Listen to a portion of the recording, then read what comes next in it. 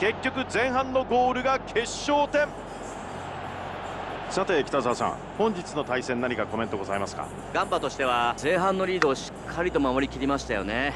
ただ1点の差でしたから確実に試合をものにするためにも早く追加点を奪って安心したかったでしょうね。そうですね。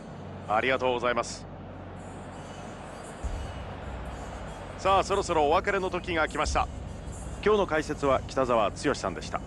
北澤さんいろいろお話ありがとうございました。ありがとうございました。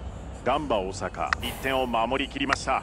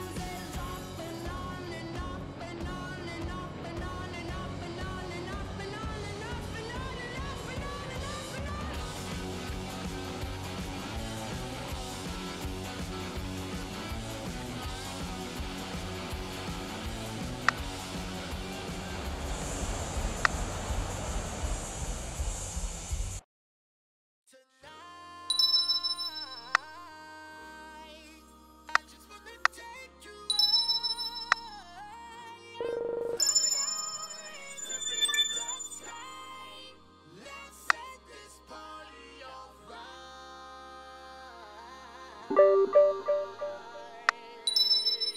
you.